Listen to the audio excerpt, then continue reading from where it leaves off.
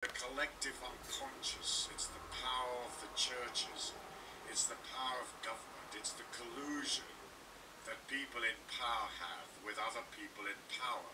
But often it's a silent collusion because on the ground in 3D they're competing with each other for military contracts or whatever.